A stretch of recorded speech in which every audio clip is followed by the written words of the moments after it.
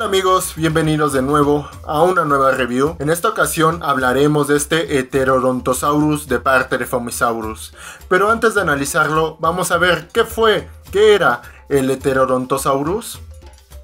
Su nombre significa reptil con dientes diferentes. Es la única especie conocida del género extinto de dinosaurio neornitisquio heterodontosaurido llamado Heterodontosaurus tuki. Vivió a principios del periodo Jurásico hace aproximadamente de 199 a 196 millones de años en lo que hoy es Sudáfrica. Pudo llegar a medir alrededor de 1.2 metros de largo, una altura aproximada de 30 centímetros y un peso aproximado de 17 kilos y su año de descubrimiento fue el año 1962. Este dinosaurio está dentro de los dinosaurios más extraños, principalmente por su dentadura heterodonta, que no es muy común en reptiles, pero sí es muy típica en mamíferos. Muchas gracias Espino por esa información. Ahora vamos a continuar con la revisión de esta figura. Lo primero que me llamó la atención fue más que nada el tema de los filamentos que vemos en la parte del lomo. Si vemos hay una diferencia del resto del cuerpo, ya que aunque sí se pueden ver precisamente los filamentos a lo largo de este, no tienen esta característica que si vemos en el lomo, que tienen cierta separación y podríamos decir cierta rigidez que los mantiene en una posición semi vertical. Esto entiendo que lo hacen principalmente por el tema de Tian Yulong, donde se han encontrado impresiones de piel, donde se teoriza que tenía cierta rigidez en lo que eran los filamentos del lomo.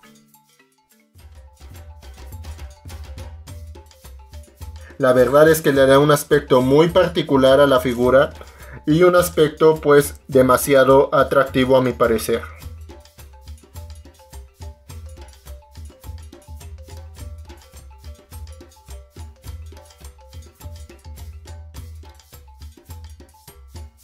Bueno, en este punto verán una iluminación diferente. Más que nada la cambiamos un poco para que se vea con más claridad los detalles de esta figura. Y ahora vamos al siguiente punto que es la parte de la cabeza. La cabeza como tal pueden ver que tiene una coloración grisácea con unos tonos negros en ciertas partes digamos de, del delineado de, la mandíbula que le da pues un toque pues bastante bueno.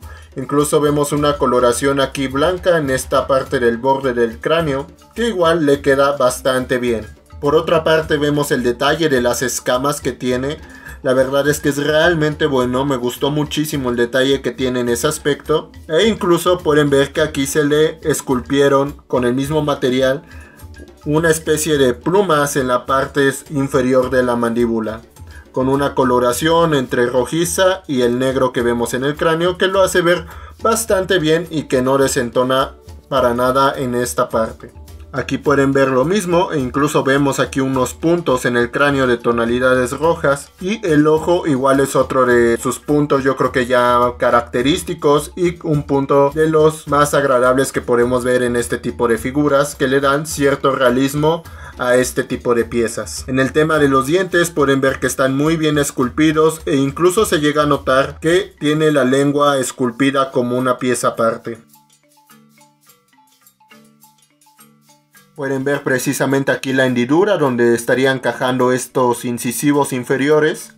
Y aquí los tres pares de dientes a manera de conos y el último a manera de incisivo también, aunque de menor tamaño que los de la parte inferior. Lo cual está acorde pues a los descubrimientos que se han hecho en este animal.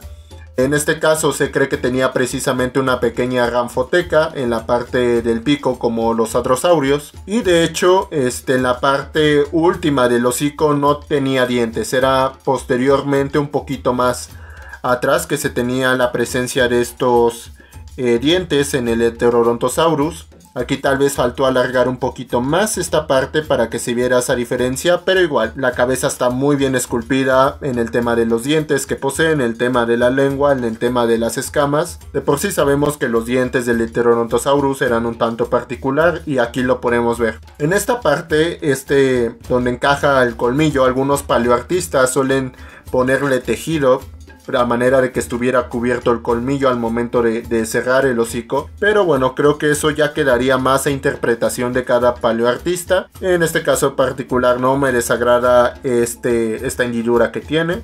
Y como digo, el detalle de la cabeza me parece muy bueno. Verdaderamente es una cabeza muy bien hecha.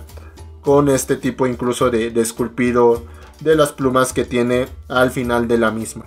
Ahora si vemos de manera general los patrones de color son muy diversos, la verdad es que este tipo de elección me gustó bastante. Vemos aquí una coloración eh, rojiza tirando a cobre.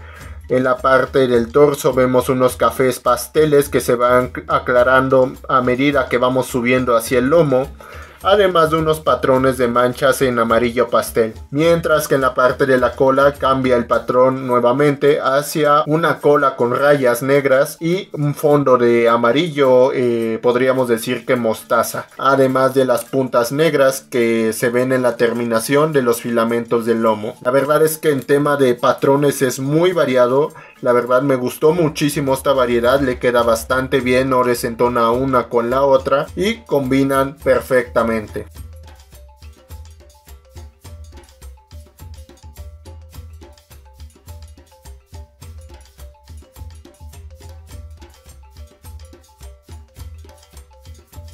Ahora otro tema es la parte de las patas, la verdad es que están igualmente muy bien hechas, como vemos son cuatro dedos, el primero nunca llega a tocar el suelo, lo cual está acorde a lo que se sabe de, esta especie, e incluso no sé si es la textura del material, pero se ven pues vaya como patas de, de, lo cual le da un aspecto muy agradable a esta pieza. Por otra parte, las patas delanteras vemos que poseen cinco dedos, este está muy pequeñito pero, pero ahí está, Además, igual otro punto a su favor es el tema de la flexibilidad.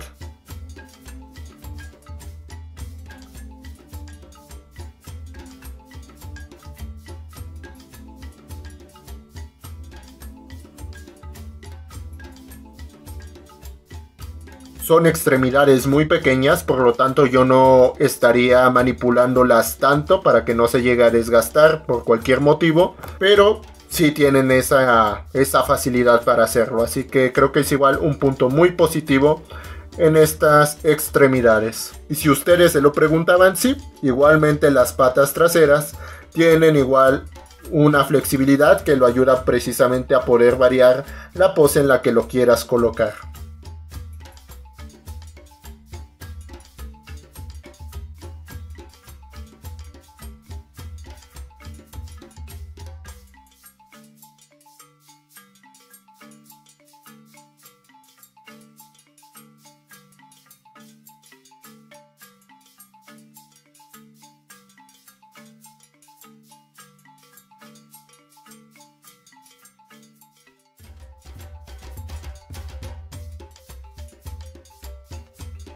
La verdad es que esta creo que es de las piezas más flexibles que podemos encontrar en la línea que tiene Fomisaurus. Incluso por el tema de la longitud de la cola que es considerable, igualmente tiene muy buena flexibilidad.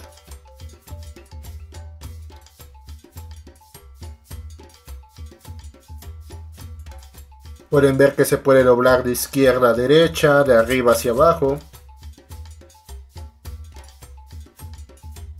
La verdad es que tiene una excelente movilidad, igualmente le da yo creo que un punto más favorable a esta pieza. Es realmente posable de distintas maneras y tiene una buena estabilidad igualmente. Como pueden ver a pesar de lo mucho que lo moví, que no está muy bien colocado eh, en el tema de las patas traseras, no se cae. Tiene un excelente equilibrio y eso todavía le da más puntos favorables a esta pieza. La verdad es que en términos generales puedo decir que la figura es realmente buena. Tiene excelentes puntos a su favor en el tema de la coloración, en el tema del esculpido de la cabeza, los detalles de los pies, de las manos, las articulaciones en general.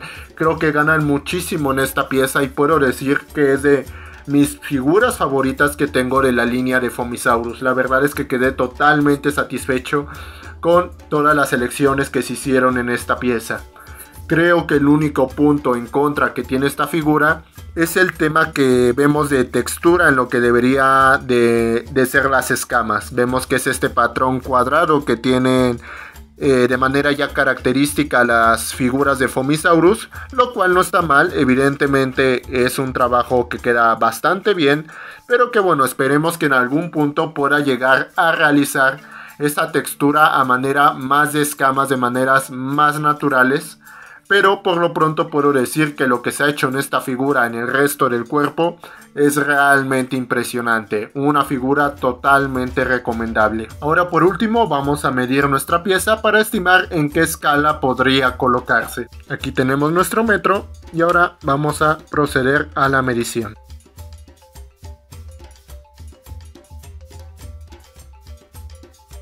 Vemos que mide aproximadamente 32 centímetros de alto vemos que mira aproximadamente unos 10 centímetros, incluso 12 centímetros, ya contando la elevación que tendrían el tema de los filamentos, lo cual evidentemente puede variar dependiendo de qué tan agachada tengas tu figura. Considerando esas medidas y considerando que el Heterodontosaurus se cree que medía unos 120 centímetros de longitud, es decir, 1.20 metros, estaríamos hablando de que estaría en una escala entre 1.3 y 1.4, aunque tirando más a la escala 1.4. Ahora vamos a comparar esta figura con otras figuras de la línea y de otras marcas para que se hagan una idea de su tamaño. Aquí lo podemos ver con el Carnotaurus de Rebor. Pueden ver que la longitud es bastante similar. Por otra parte aquí lo tenemos con el Malaguisaurus de Safari. Nuevamente pueden ver que el tamaño es bastante similar, a excepción por el tema de la cola, pero en altura evidentemente es más grande el Heterodontosaurus. Aquí lo vemos con el Isubusha de Colecta. Pueden ver que el largo de la cola es básicamente el tamaño de nuestro Lisobusha. Aquí lo vemos con el Cosmoceratops de of the Mesozoic Aquí lo pueden ver en comparación con el reciente Reinokeirus por parte de PNCO. Aquí lo vemos en comparación con el Carnotaurus de Wonder Artistic Models.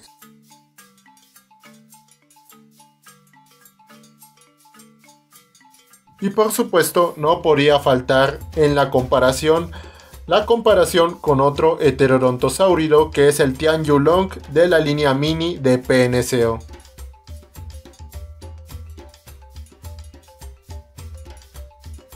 Aquí lo pueden observar en comparación tanto con el Paraxenisaurus como el Miragaya de Fomisaurus.